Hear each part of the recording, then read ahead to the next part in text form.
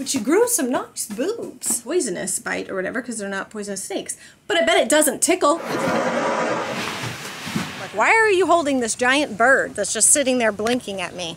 Halabaloo, haloo. I feel like I need some kind of like intro. Do you guys remember back in like the OG vlogging days when everybody had a standard intro? I don't know who started that. I don't really know like who the OG of all of that was, but like everybody had like a standard intro. It was like the same thing. Hello, hello, welcome. You know, whatever it was. The same thing that they said every time. Uh, maybe we should bring that back. Probably not. Um, anyways, I feel like hullabaloo, halloo is a good one.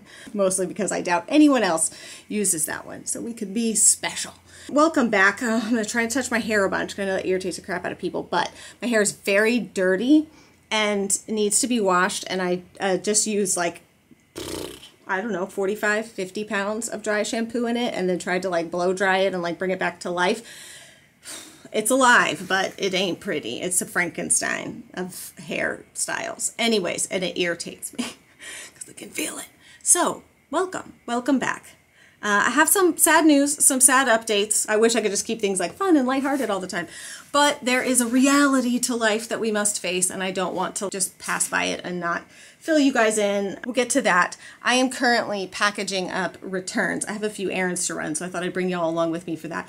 It's um, it's hot it's quite it's quite warm today. Uh, I'm wearing long sleeves, leggings, and sandals, but mostly because I just I, I want to be able to wear leggings, but I don't want my butt to show. So then I'm like, oh, I'll just wear a cool, breezy button up. It's still hot, no matter what you like, however you slice it. It's still very warm today. Our spring, we were getting like this true spring for the south. Sometimes we don't get a spring. We go from winter to summer.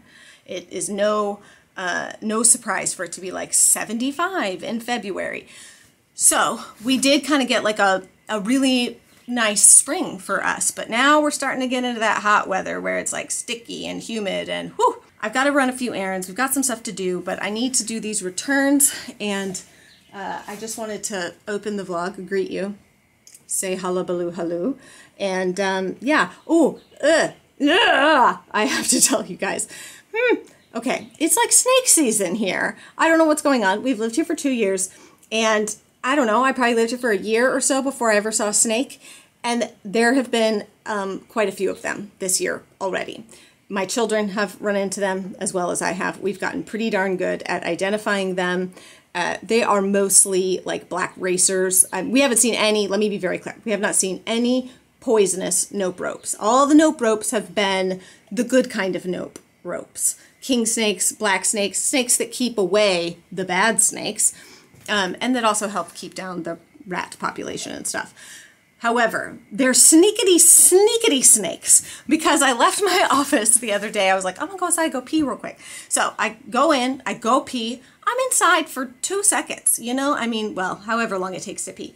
And then I'm coming back out I think I've got my coffee in my hand and I'm, you know, just kind of like looking directly down instead of like in front of me down, you know, as I'm walking back to the office.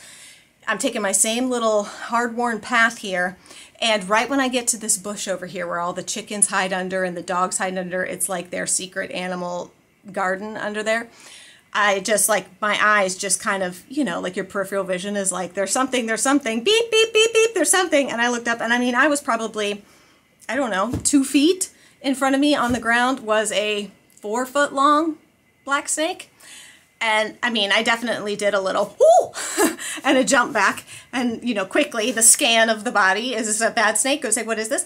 But the funniest part was that like four of the hens were like standing around the snake like six inches from it doing this and like what are because it was going under their bush that they like to sleep under their bush that they like to hide under and kind of nest under because they free range all around the property. But like this is their if something scares them they all come running under this bush. But the snake was headed for right under the bush and the chickens were all like this guy's gonna come in our space kind of looking at me like are you gonna help us? Um, so anyways i quickly called cr he tried to grab the snake and like drag it back to the other side of the yard so that it wouldn't go under there because the dogs were sleeping under there and there was a bunch of chickens under there. They don't usually lay eggs under there. They they lay their eggs in their nesting boxes, but I didn't know. Maybe there was eggs under there and it was going to upset the chickens. I just figured like go somewhere else, little snake. You know, like you just you need to pick another spot. The snake was not having it. He zoomed under there. And I did read that those snakes will bite you. They come out during the day mostly, and they will bite you if they feel too threatened or whatever. Now, I don't, I would imagine that it's not like a dangerous. I would imagine that it's obviously not like a poisonous bite or whatever because they're not poisonous snakes. But I bet it doesn't tickle. I'm sure it doesn't feel good. Nobody's like, I think I'll get bit by a snake today. Just because it's not poison doesn't mean you want to get bit by a snake. I'll just go ahead and tell you right now, since we're standing here and I'm already flapping my lips at you.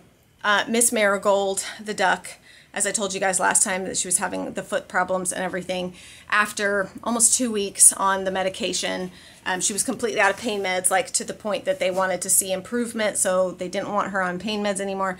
Um, not only was that foot not any better, um, in fact, it was more swollen, but the other foot, the one that I told you guys, the bone was like touching bone. Uh, there was no cartilage left, and there was a couple of spots there that on the x-ray looked like almost like a bone spur, but the vet said that it was like where it could potentially be that this um, septic, you know, bacteria or whatever is already starting to infect that joint. We went out that morning and uh, the other morning, and Mar- Marigold's other foot was, or ankle, was all swollen up. Um, so I called the vet and, you know, asked her, is there anything else that we can do?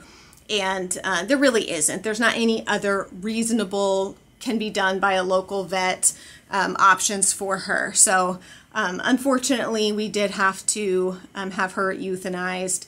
And, you know, the vet, I, I really appreciated her. She was so wonderful. And she told me, like, this is the most humane thing. Because, you know, I had told her, wasp, I told her from the beginning, like, I want to be fair to Marigold. If she can't be a duck, then I don't want to hobble her along and all of that. Like, if she can't, she couldn't even walk. And by the last day, she couldn't even stand. Like we have her in, uh, we had her in like a small space for sleeping at night, and she couldn't even stand in there. So she was absolutely miserable. And it was actually, I hate to say, like it sounds bad to say, but like I was anxious to get her to the vet for this procedure because I just felt like every minute that went by, I felt like she was in so much pain and it felt so unfair to her. Um, like I just wanted her to be out of pain at that point. Like knowing that there was nothing else we could do, I just wanted her to be out of pain. It's never easy. It's never fun. It's always tough on the kids.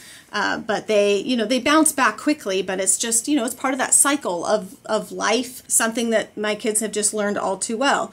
Unfortunately, the same day that I called the vet about Marigold not doing well, we discovered one of the chickens had been attacked by something in our yard in the middle of the day uh, the storm kind of came in and we noticed that after the storm left it like blew in blew out. And after the storm left she was sitting in the grass uh, just completely soaking wet. Chickens usually get away from rain but she was in the middle of the yard soaking wet. There was a bunch of feathers all around her um, and she was bleeding from a couple of places um, like her mouth and her rear end. But we could not figure out who did it what like it wasn't the dogs. It wasn't that kind of attack. You know we checked the dogs. All we can deduce is that i think one of two things happened. I think either a hawk came down and tried to get her and that um, the reason that she was like gurgling and bleeding from her mouth was maybe she had like the the claws of the hawk had like punctured a lung because we couldn't see any visible injuries on her body. Now um, we didn't like examine her inch by inch, but we couldn't see anything major.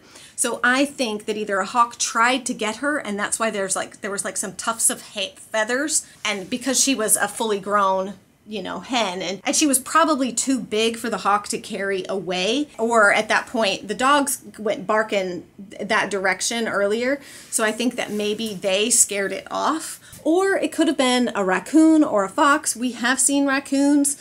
I've, I've seen one raccoon in the middle of the day just strutting across our yard like it was no big thing. The foxes will get brazen. They'll come out in broad daylight when they're not successful at night. So, I mean, it's spring. Animals have babies they're trying to feed so both it's both like a fun time of year because all the birds and their little eggs and baby birds, but it's also like a yeeks time of year because the other predator type animals are looking for prey for themselves and their babies. Anyway, so we lost a chicken, we lost Marigold, and uh, it was just kind of like a rough couple of days. So let's just get that out of the way and then we'll move on. Then we don't have to have that cloud hanging over us. Um, we'll package returns and we'll carry on about our business.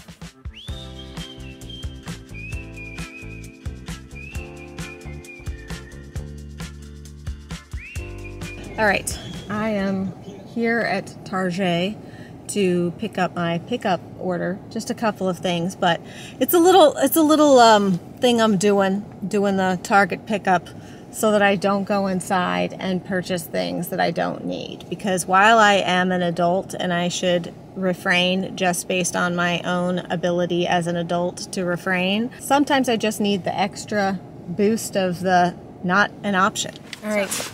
Got my little tote bag. I'm going to take my Amazon returns into UPS store. Luckily, these are the kind that you don't have to package or anything. You just bring them in and they package them and send them back for you, which is handy dandy. My Amazon returns are done. I have to go to the post office, but you know, I've been wanting to do a little antique with me video for a while, and I just thought that uh, I would pop in here. There's two places in town that I really like to check in and just see what kind of stuff they have. The first place I'm going to take y'all into is uh, they do have antiques, but it's also like consignment and stuff as well. So there's antiques, there's you know, I, guess you would say like custom made furniture. People can bring in stuff if, um, like, if you refinish furniture, you can bring it in here and they'll sell it for you. Uh, Okay, so I'm going to have to talk y'all through this on a voiceover as we go through the antique store because the background music, um, copyright, you know? Anyways, so like I told you guys, you can see that there are some really cool like antiques in here and but there's also some like new stuff. First of all, they have like 5,000 ginger jars, variations of ginger jars. But I love this like wood table here, this entry table, and I feel like the prices aren't terrible. I mean, $7.99. It's not great. It's not like, you know, you've gone to some antique barn. And I'm always kind of on the hunt for things that maybe I could refinish if I don't like the wood. Though I have, you know, kind of grown, hello, a liking for some of the you know like um, some of the already like stained wood. I just don't want it to be too red toned but i do like some of that classic mahogany-esque type stuff. But i also like to find stuff that maybe i could paint or refinish and then resell. I had to laugh when I saw this cabinet with the chicken wire in the front because I just thought, oh my God, one of my kids would ram their head through that in like 3.2 seconds and the chicken wire would be done. I love this cabinet. I love this display cabinet. This is one I have looked at in here multiple times and wanted to take home with me for my kitchen area for, you know, like serving dishes and stuff to just kind of like have them on display, but also have them available. I'm always I'm, I'm hesitant with anything that is like a glass front. Oh, I saw this vanity. Sorry, this is going to feel very squirrely because I'm trying to talk through it. But that vanity I thought would be really pretty, uh, repaint like repainted, refinished.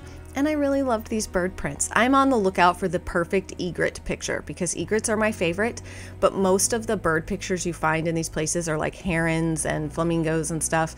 But I'm looking for like the perfect egret picture. So and then it made me sad because I saw these duck bookends and I was like, oh, marigold. There's a lot of duck stuff in here this time. I felt like, I don't know, it's kind of one of those things where you're like, have I just never noticed all the duck stuff before, or am I noticing it now because of Marigold? Also, the typewriter. I don't know if y'all can see that. That old, like this vintage typewriter. I stood there for a minute and thought, if you listen to true crime, okay, you know that there's certain bad guys. Like I don't want to use the terminology. There's certain bad guys that have used typewriters to like write notes and stuff to the police and they were busted because of matching. I guess every typewriter has like a very distinctive, I don't know if it's a serial number or what it is, but there's a way to figure out if a let like what typewriter a letter was written on or typed on, not written, but typed. Anyways, and I thought I should buy every time I see an antique typewriter, I should buy it just in case it was like used in a crime previously and I need to like help the police solve a crime. Yeah. So, anyways, there's that. Don't judge me for my weird thoughts, okay? This is what it is to antique with me, is you get to know the weird things I think about when I see this stuff. This was the other cabinet that I was looking at for the homeschool room. Remember I told you there was two? This is the other one that I was looking at. Uh, but I'm glad I went with the one that I went with. And remember, we've had this conversation before about the audacity of lamps to cost as much as they do. I felt like the that wasn't terrible compared to some I've seen, but I'm still a TJ Maxx Marshalls girl pretty much all the way when it comes to lamps because they're crazy. I also really like this cabinet. I don't know what my deal is with cabinets, these oversized cabinets lately, but I really like them because they hold a lot of crap is probably why. But you can see like some of the furniture in here is pretty new, like those chairs and there's some sofas and stuff in here that are pretty new. So not everything is you know vintage or antique or whatever. It's all kind of kind of mixed in. These tables and stuff. I love the striped sofas uh, and they're on sale and i would love to have them if i didn't have children. They these are obviously old but they remind me of my grandma and they're big and oversized and comfy and i would love to have them. But my kids would do a number on those sofas. So they won't be coming home with me hopefully whoever gets them enjoys them this is my dream, y'all, to have a place where I could have bookshelves like these with the sliding ladder. I love that so much. Nowhere in my house for it. This is one of my favorite rooms in the whole place. So I don't know if you can tell, but every room kind of has a, well, not every room, but most rooms have kind of like a color scheme or a theme to them. There's like an orange room and a blue room and all of that, which I think is I think it's fun. I also really like these glass bamboo tables. I don't need one, but they're a really good price. I have nowhere to put that in my house. I won't be purchasing it, but I like them a lot. And I also really like fell for this fishy vase because it reminded me of my grandma. So I don't know. I, I, like taking videos of this stuff, which I do even when I'm not putting these in vlogs, you guys, because it helps me remember what I saw and if there's anything that I'm like want, I want to go back for. I try, you know, unless I just fall in love with something instantly and have to have it, I usually try to like make myself wait and then go back, make sure that I really want it, make sure it's going to fit in a place. But anyways, I some of this like oversized farmhouse furniture stuff, I'm like, ooh, it's nice. Big big cabinets, pretty floral prints and stuff. And you can see, I don't know if you could see that at the top, the names of the rooms, but um oh, look, it's another duck. Another duck. Ooh Told you, all the ducks everywhere. But every room like has a name and then kind of a color scheme to it. Um, and then when I was back here, I saw that there was a bathroom. And well, when you've given birth to four children and a set of twins, you see a bathroom and you use it. I mean, I don't know about y'all, but if there's a bathroom, I'm going to use it, especially if it's clean. And I thought I turned the camera off and I set it on the back of the toilet and then realized when I stood up that I didn't turn it off. So I did cut that out but I laughed to myself when I got up off the toilet and was like, oh my God, I just recorded myself going to the bathroom. So that's cool. Um, you're welcome that I did not include that footage in today's vlog. Now, this picture I really liked. I really liked this one, but I have nowhere in my house for it. Absolutely nowhere that that will fit because, well, we don't really have walls. We have walls, but we don't have like blank wall space. This cabinet, I don't know if I got a good picture. I didn't. It's curved at the top. It's really pretty. And this is the other thing that I wish I just would have bought while I was there because it'll probably be gone when I go back, this copper pour. And this egret picture, I loved, but it was too expensive. It was a set of two, and I didn't like the other picture, and it was too expensive. So I left it behind. But um, yeah, anyways, there was some fun like bamboo and rattan and wicker type furniture in here uh, lots of like kind of coastal things. I love the like, you know, duos of bird pictures and stuff, but there's always one that the bird has a very phallic looking beak. And I just know that it's it's not my jam and my husband will be like really we're bringing that home so the bird pictures man some of them are really good and some of them are absolutely terrifying anyways uh, i liked those bamboo picture frames, but I already have ones very similar that are gold. Now, this was another piece that I was very much considering. Um, well, first of all, I have other pieces of furniture that have these same knobs, so it's either from the same era or the same original maker. I'm not sure. I thought I could maybe refinish that piece, uh, and then the chicken picture made me laugh. I also really liked these pillows, but I felt like, again, I mean, it's not that I expect things to be like dirt cheap or anything, because this is like consignment and not an antique store necessarily, but I don't know. Some things I'm just like, ugh, I'm not paying that much. This is the other cabinet that I really love and would love to put in our kitchen if we ever get rid of the mini split air conditioning units so I can utilize that whole wall. Do you see how tall this thing is? And it has that twist knob so it like locks at the top and keeps the doors closed. What a dream. I want that very much. Um, and they had tons, like I said, tons of like the ginger jars and stuff. I also really loved these bird lamps. Uh, I thought those were so cute. And I tried to film it so you could see that is a giant, giant ginger jar. That thing is like 18 inches or more tall. It's huge. And so are these chairs. I felt like I couldn't get a good frame of reference to show you how big some of the furniture was in here. It was these lamps, same thing. I love these. If I had a big enough entry table that could make those, uh, like could accommodate those, those lamps are stunning and they're huge and I love them. Uh, I'm going to show you that cabinet in the back right corner. Oh, I love it so much. I've looked at it multiple times. I have nowhere for it, and my kids would destroy it because it's like a, it, I don't know, it's from like the early 1800s or something. I can't remember, but it needs some repair work and everything. It's a beautiful, beautiful pine armoire, but it needs some work that I can't do. Oh no, my battery's going to die. Okay. I'm home. I'm home from the errands, but I was just coming out to start working on a project out here.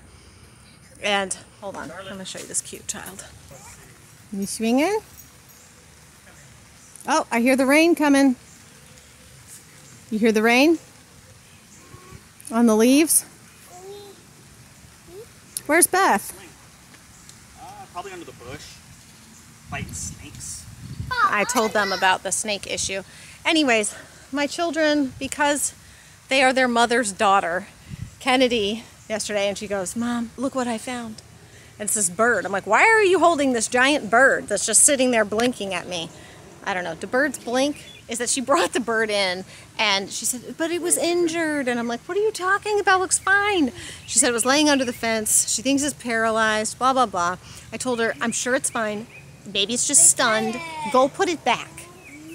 So she tells me she's going to do that. She tells me she's going to do that. And then last night, I'm washing my face. She comes in the bathroom and she goes, Mom, don't be mad. I'm like, what? She's like, I have the bird in my room. I'm like, oh my gosh, I told you to go put the bird back. No, she didn't. She said, but mom, I really think she's paralyzed. She can't. So she put her into uh, like a small enclosure and gave her food and water, but the bird is not moving. Um, like she's drinking, she, I assume she.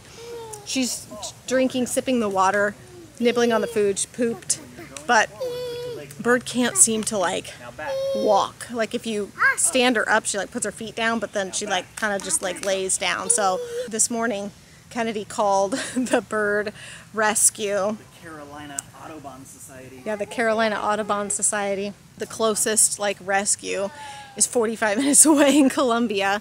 Um, anyways, so now that's the next thing on the agenda is we got to drive Christopher has volunteered um, because mostly because he knows I need to be sorting those boxes in the garage of clothes that either going to go for sale on my Poshmark or go to the Goodwill or whatever. And so he's like, no, no, no, no, I'll take the bird. You stay here and do the boxes because he's been wanting me to do these boxes because they're taking up space in our garage. And I was like, I'll take the bird. He's like, no, no, no, no, no. I, the kids and I will take the bird. You stay here and organize the boxes. So that's what I'm doing. This guy's got his shirt on inside out and backwards. I don't know what's happening. I don't know what's happening down here either. Your shirt is on inside out and backwards, son. Oh. Oh. Why? And Charlotte's licking you in the face. Who's scream? Who's screaming? That was a chicken that screamed like that? That sounded like a child. Gosh, these chickens sometimes. Okay. Anyway, so Ciara's gonna and the girl the pathetic.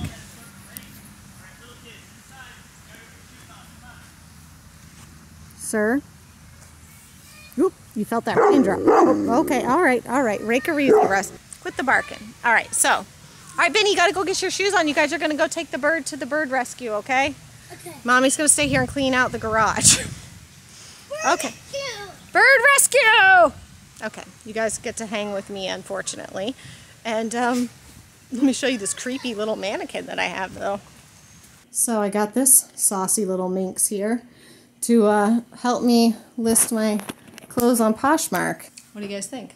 What movie is that? Um, shoot, Robin Hood Men in Tights. Master Robin, you lost your arms in battle, but you grew some nice boobs. I'm gonna like clear some space in here. It's a bit of a disaster. And I'm going to try to bring in at least a few boxes before the rain hits. I kind of got to pee too. So let me take care of that. Let's get to work.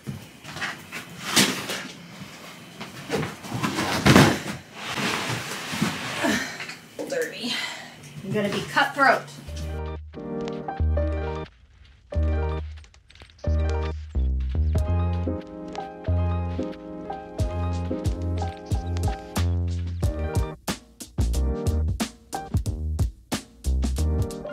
Gotta do a little research to see.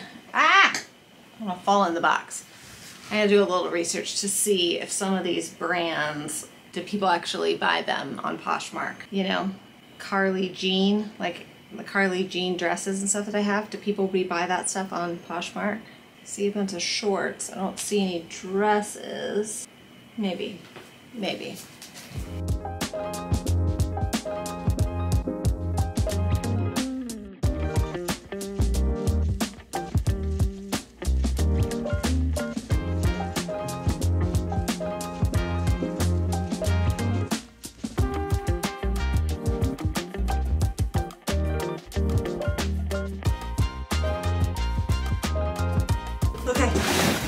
One box empty. Gosh, now I'm hot. One box empty, a lot more to go.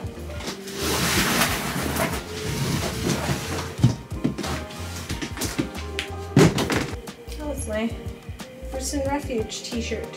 I love this shirt, but this is a large.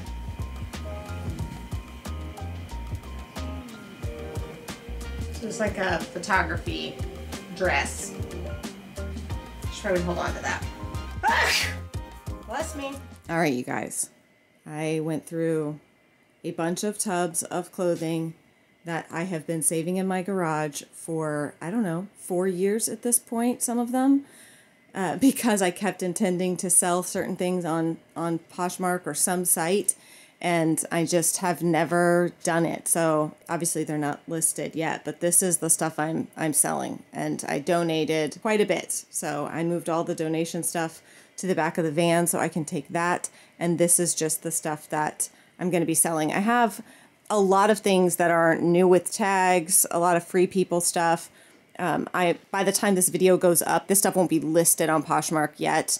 Uh, I got to make sure I have all my ducks in a row for packaging and shipping and all of that because obviously I want everybody to have a wonderful customer experience. So if you are interested in that kind of thing, um, then I will link in the description box my Poshmark. I don't even know, y'all. I'm not a Poshmarker, so it's what is it, a storefront or something? I don't know what they call it, but I'll link it down below so you can go ahead and follow me there if you want to see when this stuff actually um, starts getting listed. And probably what I'll do is do it in batches and start with the stuff that people can wear now and maybe wait to list the fall stuff. I don't know. I don't know how all of that works. I don't know if people buy sweaters in the off season, etc. So probably start with spring summer stuff and then move on to the other stuff. But I do have quite a bit of things. I've got a lot of, eventually, I'll also be adding some handbags and um, I definitely have some shoes and stuff, but I'll be adding, I've got a number of like noonday bags and stuff that I'll be adding on there.